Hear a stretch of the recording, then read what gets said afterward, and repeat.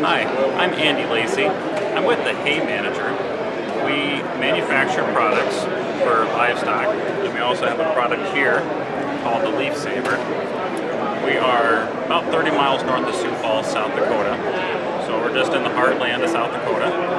And this is our newest invention called the Leaf Saver. And what it is, is a plate that goes in a round baler and it connects to the axle.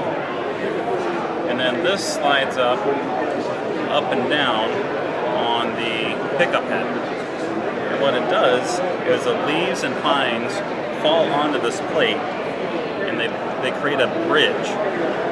And because between the axle and the pickup head is a gap we're just closing that gap and bridging the leaves so the leaves go into the round bale versus through that gap. Simple idea, simple product, just trying to help the farmer out, make it a little easier and, and save them some money. Now, we found that this will put 100 of the fine, 100 pounds of the fine leaves into the round baler. So 100 pounds on 100 bales is 10,000 pounds or 5 ton of hay. Now 100 bales might be small, but it's a start. It's an easy number to figure. So we'd like to provide this to individuals and implement dealers and, and whoever has a round baler because this is adaptable to all round balers, not just John Deere.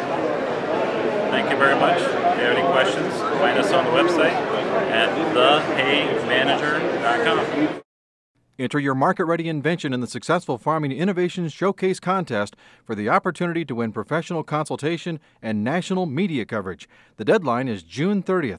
Enter today at agriculture.com/innovation.